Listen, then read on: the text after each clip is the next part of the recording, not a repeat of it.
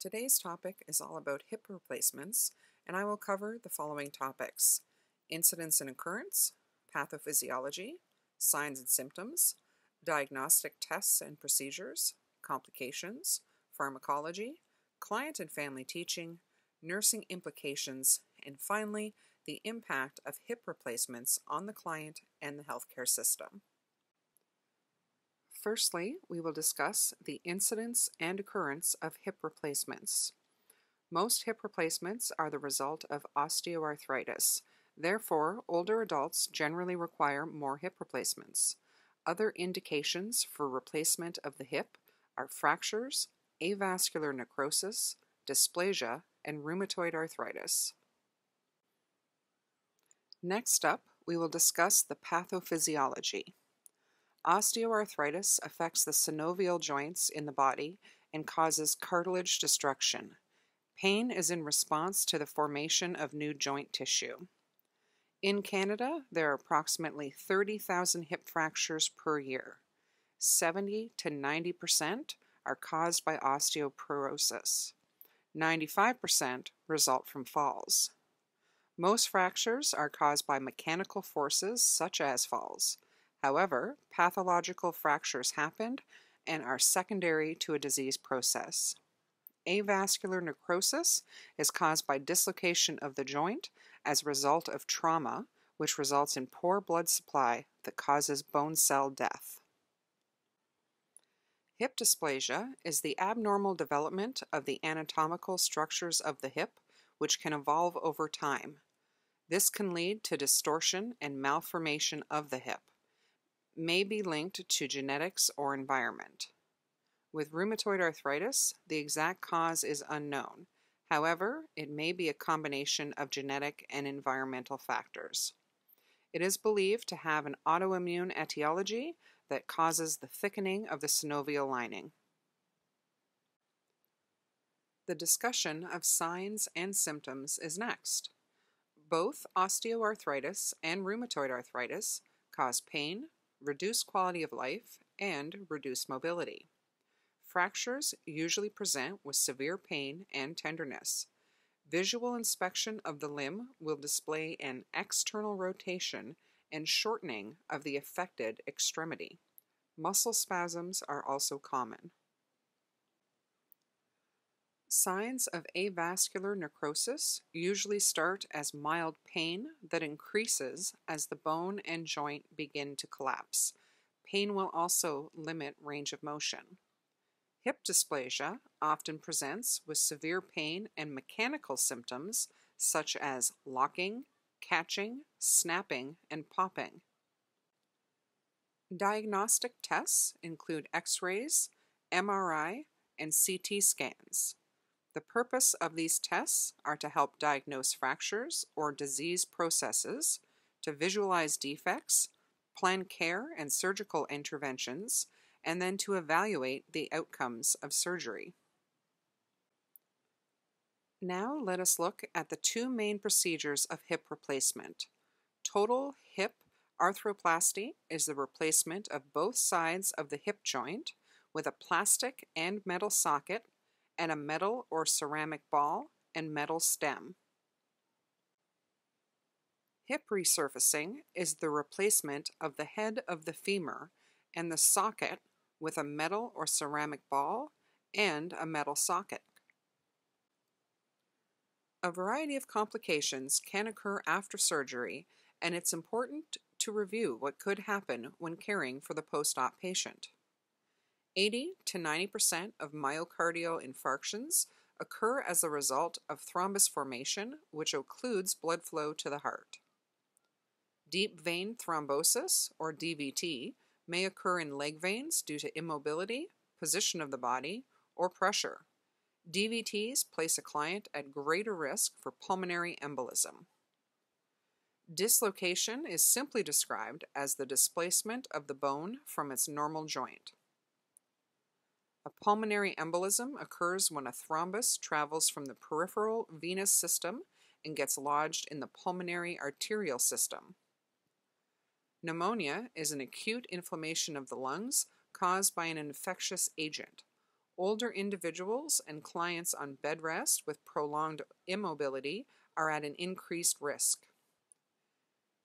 Infection at the surgical site is an invasion by a microorganism. Infections may start in a localized area like a surgical incision. However, they can spread via the blood and become systemic. Due to the complications that may arise, the following are priority nursing assessments that should be completed behavioral, skin, respiratory, gastrointestinal, incisional, pain, and neurological conditions. A review and evaluation of care and the patient's response to treatment should also be completed. Prior to surgery, patients may have the option of receiving a corticosteroid injection in the hip joint in order to reduce pain caused by inflammation. Cefazolin is an antibiotic that is commonly used for surgical prophylaxis as it provides good coverage against gram positive bacteria and reduces the risk for post op infection. Analgesics are given prior to surgery and in the post op period to manage pain. An NSAID, such as naproxen, is commonly used with the addition of hydromorphone for breakthrough pain. Pregabalin is an anticonvulsant that is often given to decrease neuropathic pain. Blood thinners are given after surgery in order to prevent DVTs and blood clots. Clients will often start with sub-Q injections of enoxaparin in hospital and are discharged home with apixaban. With at-risk populations, such as older individuals or those with mobility issues, prevention of falls is essential. Removal of tripping hazards in the home and the use of mobility aids is important. However, as we are looking at the post-op hip replacement client, teaching should be focused on their discharge and what they should expect after surgery. The use of mobility aids, such as walkers and crutches, should be demonstrated. Proper positioning should also be discussed with the post op client. Pillows should be placed in between legs to prevent the knee of the affected limb from crossing the midpoint of the body. Low seating should also be addressed, as the hip should not bend more than 90 degrees. There will be limitations with mobility, and the client should be taught to use aids to assist in the dressing of their lower body. Exercise is also an important part of the healing process.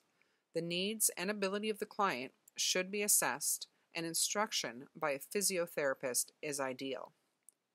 Most importantly, clients and family should be taught the signs and symptoms of complications.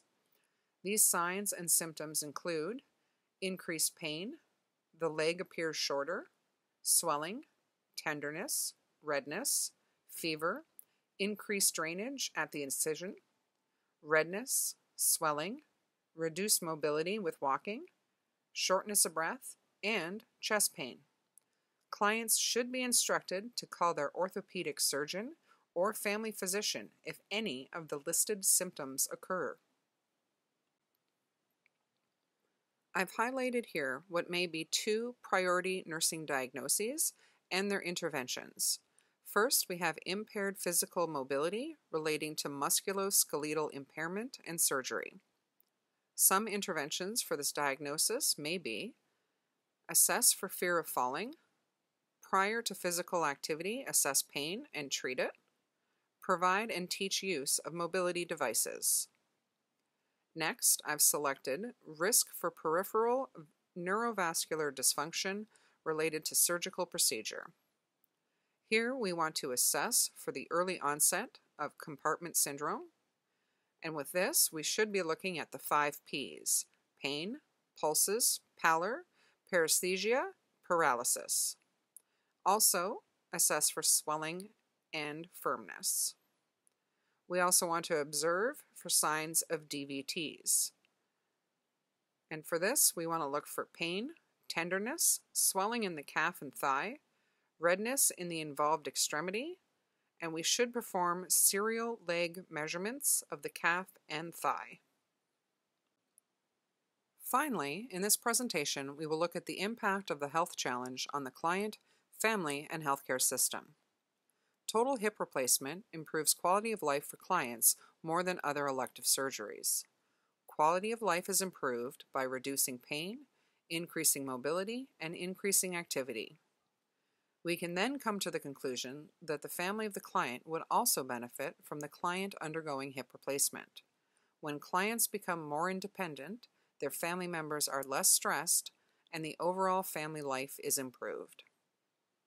Regarding the impact on the healthcare system, we can look at length of hospital stay. Hip fractures require one of the longest hospital stays, and they average more than 19 days. However, planned hip replacement is generally 3 to 4 days. Evidence suggests that planned hip replacement leads to health care cost savings. Therefore, if we replace the hip due to a condition like osteoarthritis before a fracture occurs, we can save the healthcare system money and improve quality of life for the client.